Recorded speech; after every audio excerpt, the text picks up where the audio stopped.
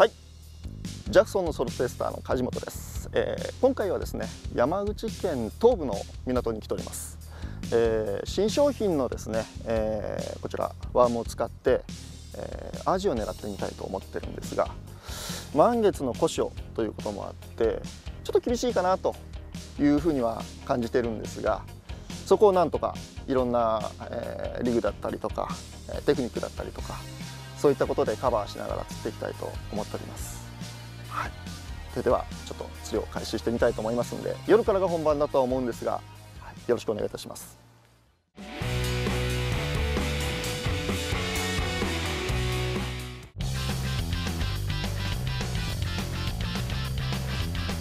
なんとかしてパターンを見つけたい。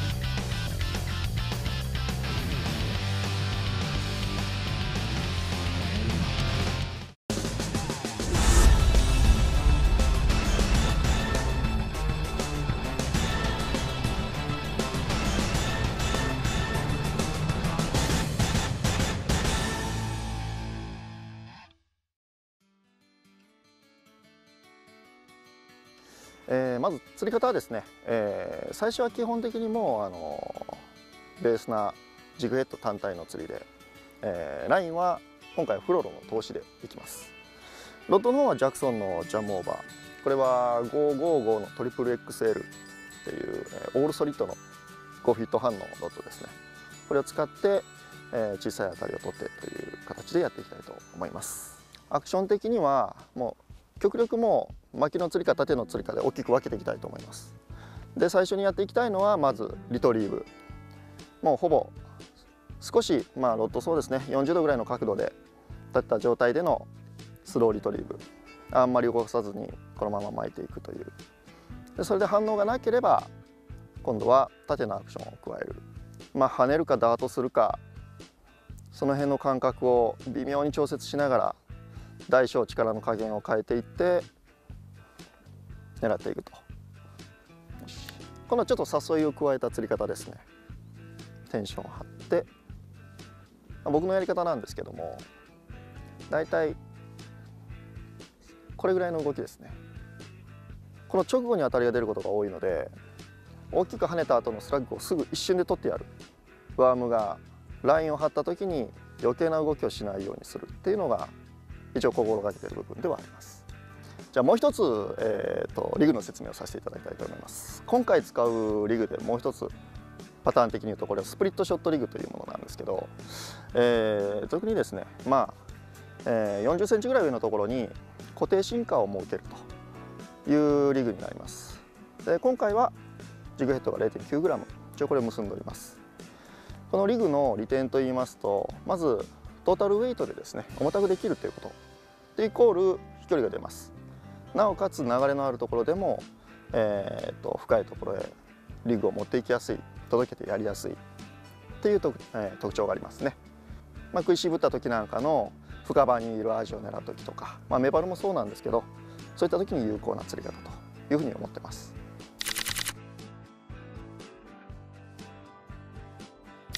さっきですね説明をさせていただいた際にボトム付近にちょっと魚が当たってきたんですね。でまあそこの方に何かいるのかなということでちょっとまあこれも新商品なんですけど少し前に出たギャロップベイビーというメタルジグライトゲーム用なんですね。これを使ってあの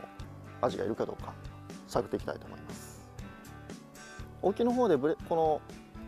少しこうブレイクがあるんですけどその先でピタブレイクの向こうが10ぐらいかな。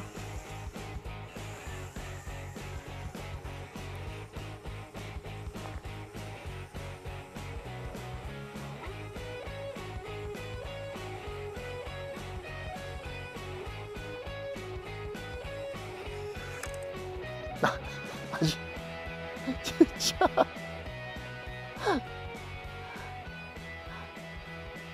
あエラがかりですね。じゃれてきたんでしょうね。これはギャロップベイビー 3g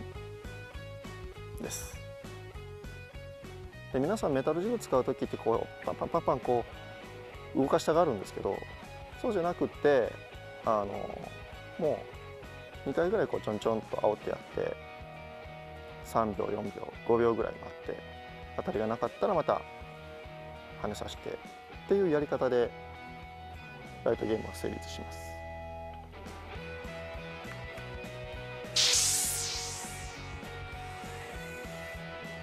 おおおびっくりした。急に走りました。よいしょ。アジ。やっぱり夜でもねメタジグは効くんですよ。アシスト食って背中にトレブルが引きがって完璧ですね。今回使ってますマイクロメタルジグギャロップベイビーしゃくった後のアピール時間がちょっと長めに取れるというデザインになってまして、えトレブルフックとアシスト両方ついててお買い得価格というふうにもなってます。是非お好きなカラーでアジアメバルを釣ってみてください、まあ、カマスとかにも効きます、はい、よろしくお願いします。えーと、今回アジングで使ってるバームですね。新商品のジャクソンから出たピピリング。なんですが一応こちらの商品はですね生物学に基づいてジャストサンプルを作らせていただきました。やはりあのいろいろ今までいろんな方に試していただいて釣っていただいたんですけど非常にちょっと面白いあの結果が出ております、まあ、今回ちょっとそういう流れでですね基盤になる新基軸のワームっていうのを作ってみたんであのまた是非とも皆さん使っていただいてあのいい超過を出していただきたいなというふうに思っております。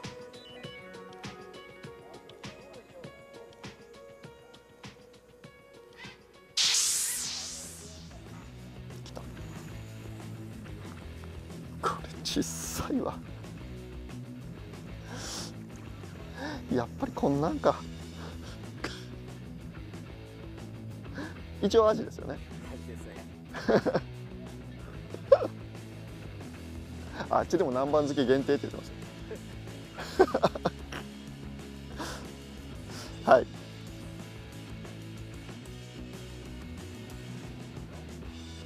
ジグヘッド単体投げるんだったらスピニングの方が圧倒的に便利だしいいんですけどね。スプリットショット使う時とかは圧倒的に有利。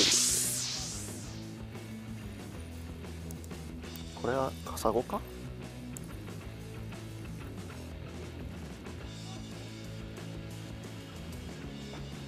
アジでした。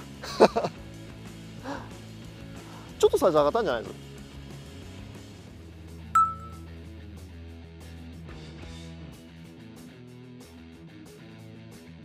なんとかしてパターンを見つけたい。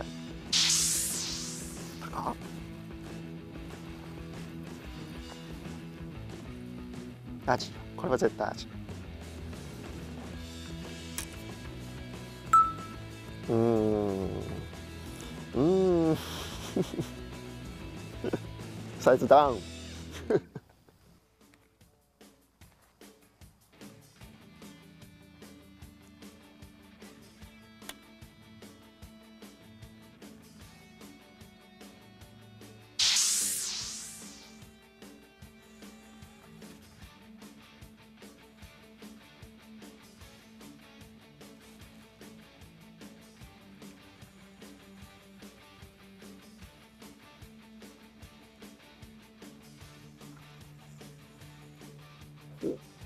サイズアッ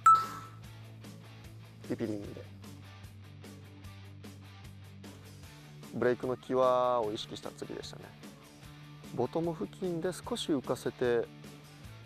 止めてちょこちょこっと誘ったような感じで食ってきましたね。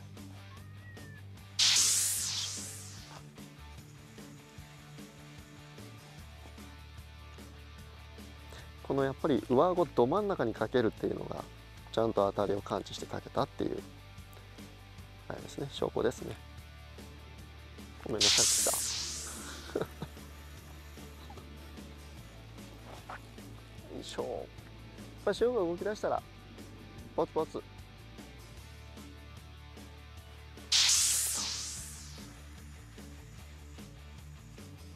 いしょ。よし。いい食い方した。えそう、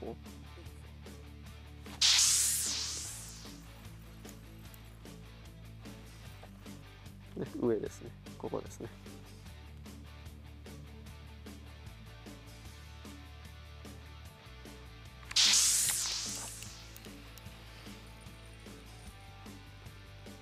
いしょ。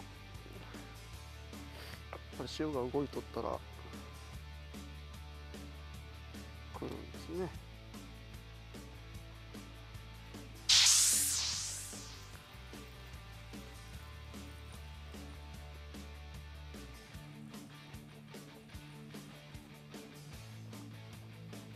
まあ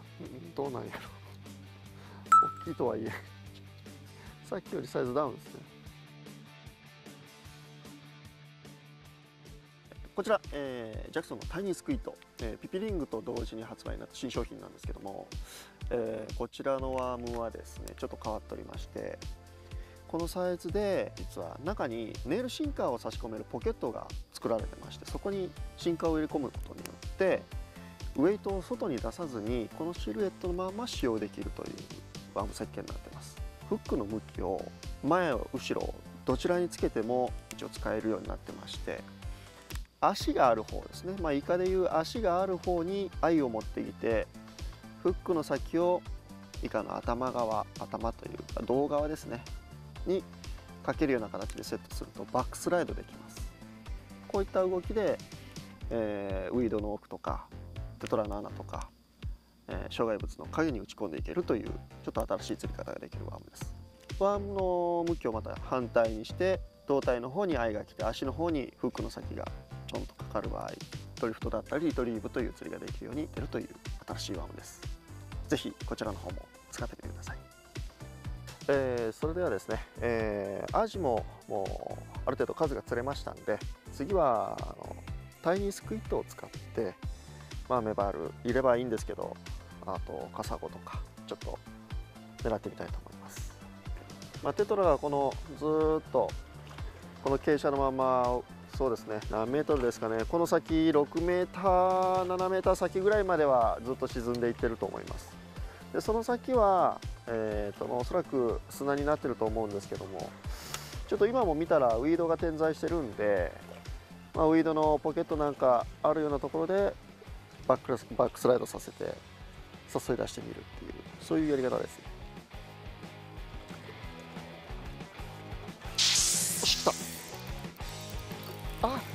入られたか？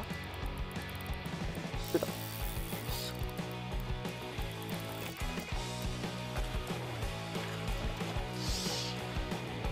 カサゴよ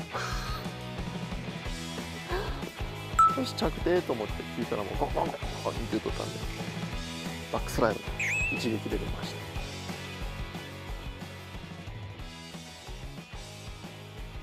た。はいお疲れ様でした。えー、今日はですね、えー、ちょっと潮の動きがあんまり良くなかったんですが